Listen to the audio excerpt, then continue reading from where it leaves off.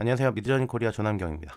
이번 시간에는 간단하게 애니메이션 만드는 방법에 대해서 알아볼 건데요. 이번 시간에도 저번 시간에 이어서 미드저니와 나노바나나를 활용해서 간단하게 만드는 방법을 배워보겠습니다.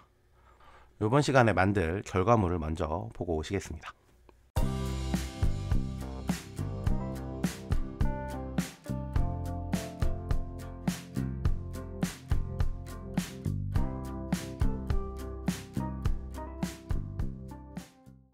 본격 영상에 앞서 구독과 좋아요, 알람 설정은 유튜브 제작에 큰 힘이 됩니다.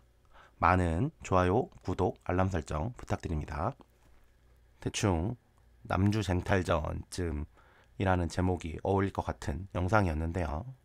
그걸 만들기 위해서는 미드저니와 나노바나나가 필요한데 미드저니에서 스타일과 캐릭터 배치까지 미드저니에서 끝내고 캐릭터들의 자연스러운 연기에 대한 디렉션은 나노 바나나를 이용할 계획입니다. 일단은 캐릭터가 필요한데 캐릭터를 생성합니다.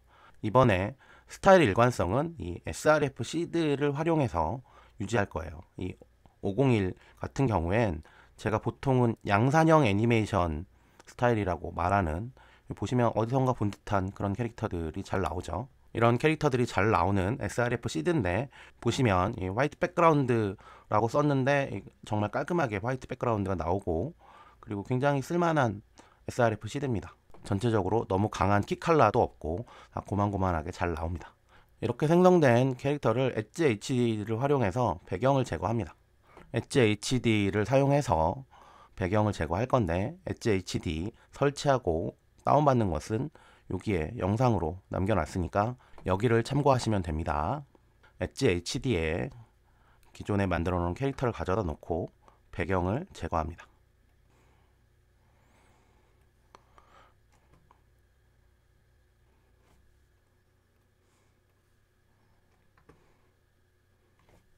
저는 엣지 HD를 사용을 했는데 이렇게 배경 제거하는 것은 편한 툴 사용하시면 됩니다. 뭐 포토샵도 가능하고 배경 삭제하는 거는 PPT에도 할 수 있으니까요. 편하게 사용하실 수 있는 툴에서 이렇게 배경을 제거하시면 됩니다.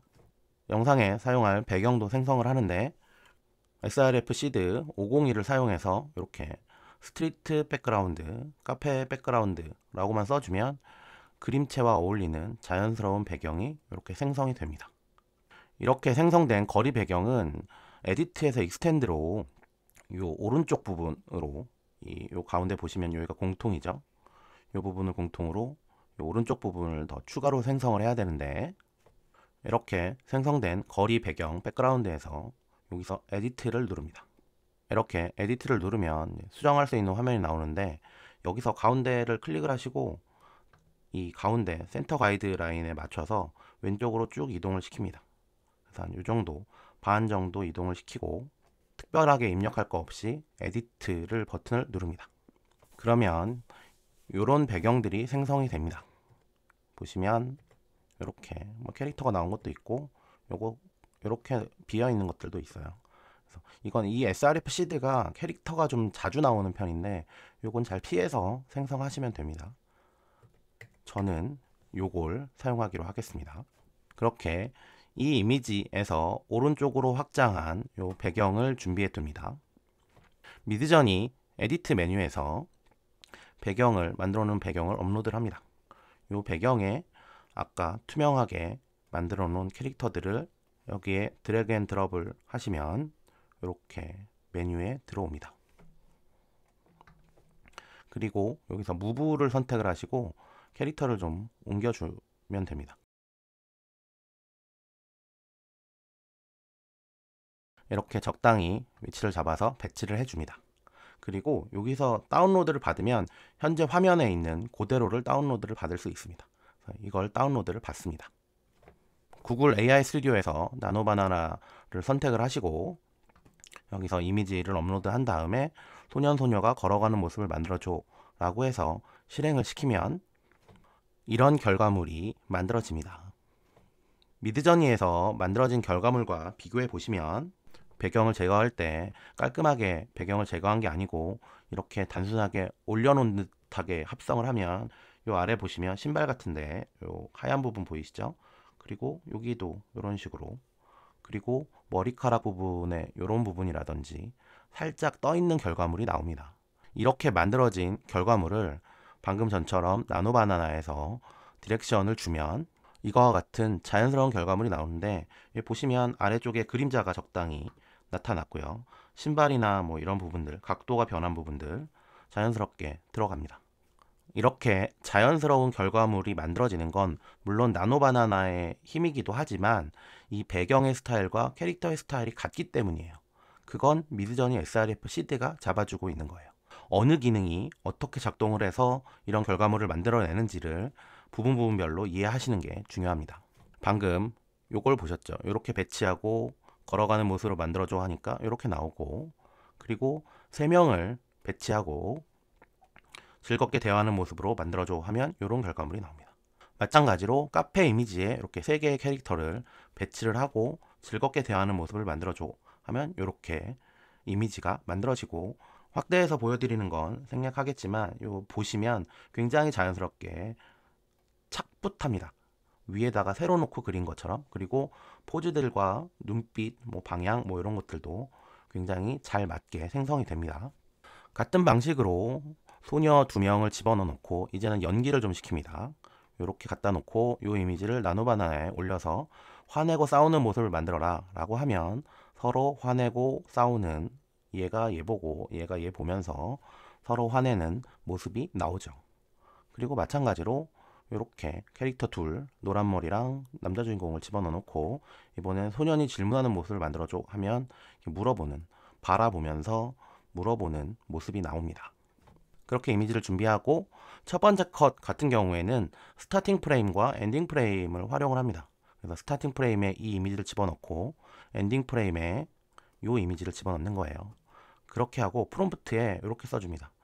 소년과 소녀가 걸어가고 여기서 걸어가고 그 다음에 노란머리 소년을 만나고 즐겁게 맞이한다. 뭐 이렇게 되고 pan right는 카메라가 이 오른쪽으로 이렇게 이동하는 걸 말합니다.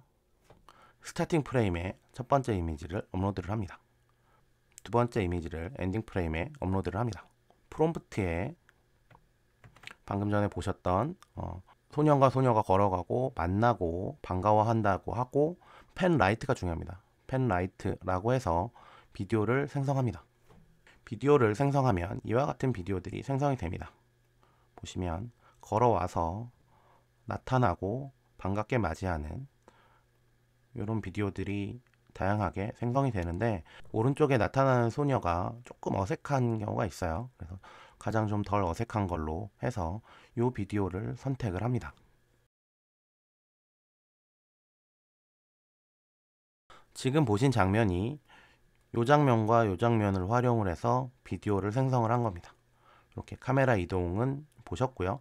나머지 장면 같은 경우에는 뭐 그들이 즐겁게 대화를 한다 정도의 간단한 프롬프트로 비디오를 생성하시면 됩니다.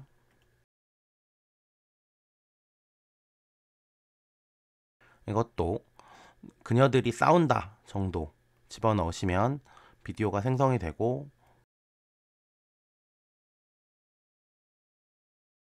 비디오 프롬프트를 소년이 질문한다 정도로 생성해 주시면 이미 이미지에서 소년이 질문하고 있는 모습이 만들어졌기 때문에 굉장히 자연스러운 결과물 비디오를 얻을 수 있습니다.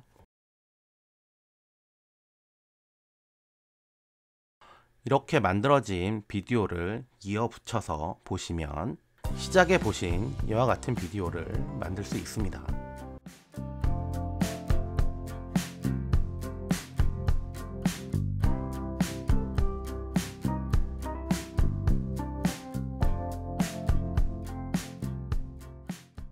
과정은 간단하지만 결과물이 결코 간단하지 않은 적당히 볼만한 비디오가 만들어집니다. 이런 비디오를 만들 수 있는 건 일단 스타일과 캐릭터를 srf 시드로 유지를 했기 때문이에요. 그리고 배치까지도 미드저니에서 활용을 했고 물론 저는 미드저니 edit를 활용했지만 포토샵이 편하신 분들은 포토샵을 쓰셔도 상관없습니다.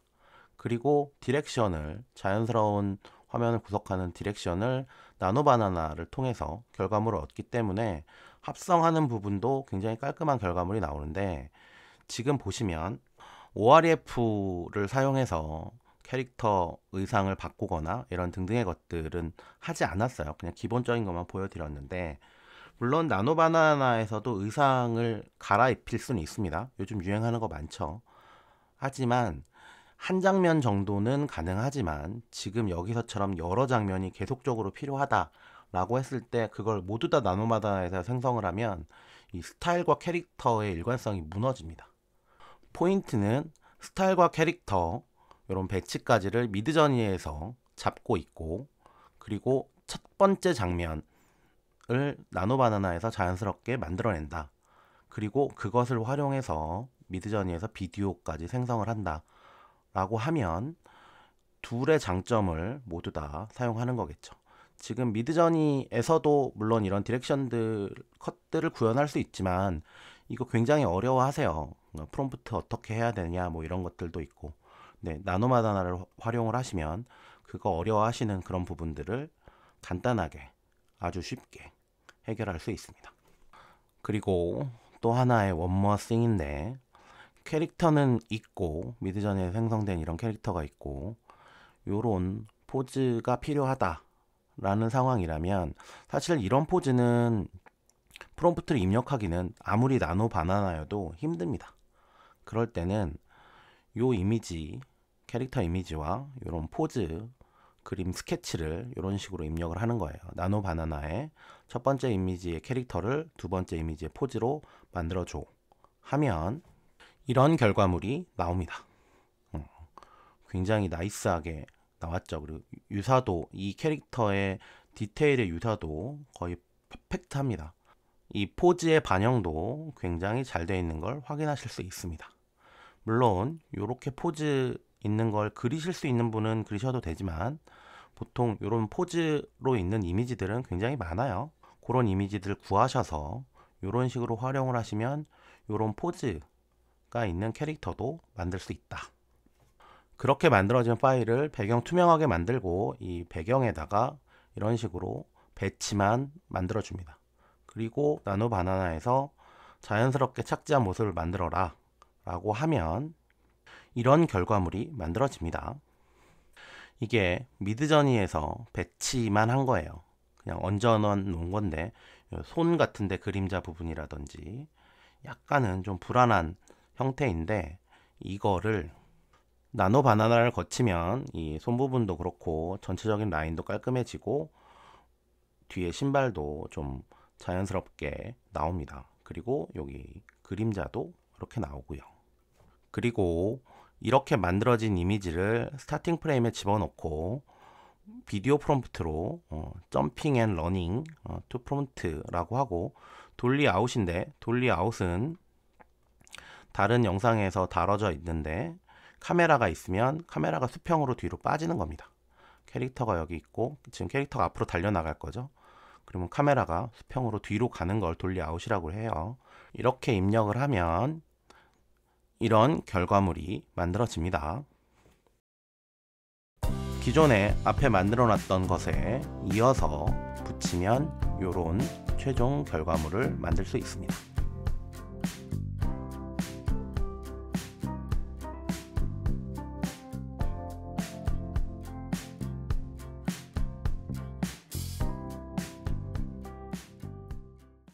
이번 시간에는 애니메이션 만들기 미드저니 플러스 나노 바나나 가지고 애니메이션을 간단하게 만들어 봤는데 보신 것처럼 만들기는 간단하지만 결과물은 간단하지 않아요. 그래서 원하시는 결과물들 충분히 만들 수 있다라는 거 이해하시고 다시 한번 정리하면 미드저니에서 스타일과 캐릭터 등을 그대로 유지하고 그다음에 디렉션을 나노바나나에서 했다 라고 이해하시면 돼요. 물론 나노바나나로도 다 가능하고 미드저니로도 다 가능합니다. 하지만 어려워하시죠. 그래서 미드저니에서 좀 쉽게 할 수 있는 srf 시드를 활용해서 스타일을 유지하는 건 굉장히 쉽죠. 그리고 나노바나나에서도 이렇게 디렉션을 주는 건 굉장히 쉬워요. 이두 개의 장점만을 활용하시는 게 생산성을 높이는 지름길입니다. 저한테 들어오는 질문 중에 어, 미드저니로는 안 되나요? 뭐 나노바나나로는 안 되나요? 이런 질문들 나오는데 어, 미드저니가 잘할 수 있는 것들은 미드저니 활용하시고 나노바나나가 잘할 수 있는 건 나노바나나 활용하시는 게 답입니다. 물론 미드저니 가지고 아니면 나노바나나 가지고 구현을 할 수 있긴 한데 그렇게 하면 시간이 더 오래 걸려요. 생산성과 좀 반대로 갑니다. 그러니까 여러분들은 되는 거 생산성을 높일 수 있는 방법으로 장점 더하기 장점으로 사용하시기를 권장드립니다. 이번 시간 애니메이션 만들기는 여기까지 하도록 하겠습니다. 감사합니다.